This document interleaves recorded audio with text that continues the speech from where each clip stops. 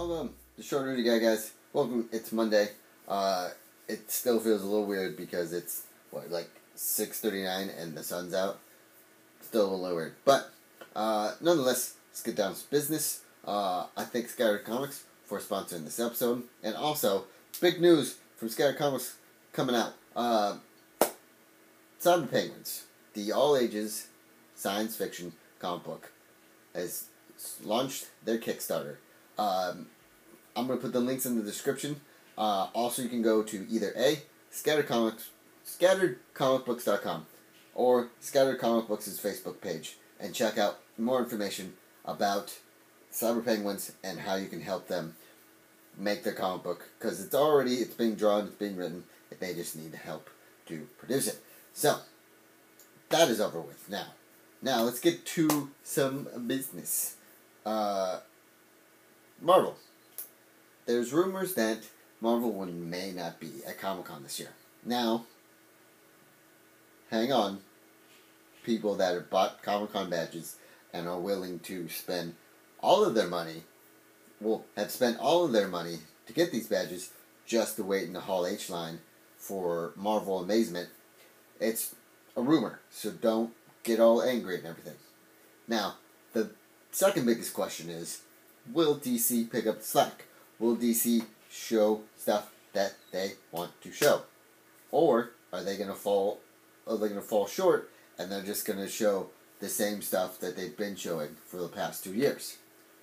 Otherwise, either way, if those two happen, if Marvel show uh, falls short and doesn't show anything new about like the Justice League or Aquaman or Wonder Woman or the Flash, Hall H is going to be very empty, and I'm, Marvel's the only thing that has everything going. So the only reason that Hall H would be packed is for Marvel. So if DC doesn't show up and just unload everything that they need to unload, Hall H is going to be kind of dim.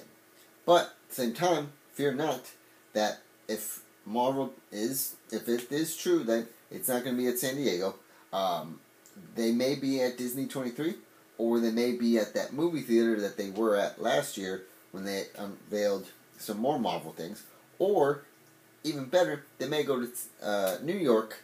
I almost said Sacramento Comic Con. That would have been amazing. Um, they're gonna hit the New York Comic Con and unveil everything there, which would blow New York Comic Con up so much because everyone would find that out and everyone would want to get to New York and it would be a awesome Comic Con. I cannot speak because I worked out for three hours. Didn't need to know that, but just letting you know. Um, yeah, I that's I don't know. It's gonna be a very it's gonna be very weird if Marvel doesn't show up to Comic Con, and kind of gonna make Comic Con a little worried because that's the Hall H line. There's no one, no one else. Okay, for a while, you know, there've been big movies. There've been Lord of the Rings. There's been the Doctor Who 50th anniversary. There've been all that stuff, and that's fine. But at the same time, everyone is waiting in that line to see Marvel to see what movies are coming out, see what new actors are gonna be playing in what roles. Uh, they also revealed the Avengers. They also had you know Robert Downey Jr. do his thing. Uh, Tom Hiddleston was Loki. It was amazing. Now that it it may not happen, who knows? But still, it's gonna happen somewhere else. Who knows? I will let you know more about it as I read it. But fear not. Comic Con will still be great. Uh, Alright, guys. That is it for today. Uh, again, I thank Scattered Comics for sponsoring this episode. Also, head over to TBP Studios and check out other amazing videos and other amazing podcasts and other amazing video game news that they have because they work really hard at their stuff and they wanted to sh- share it with you guys. Uh, and yeah, and I thank you for watching and please hit the subscribe button or a like button if you like this episode. And I will see you all Wednesday. Have a great night.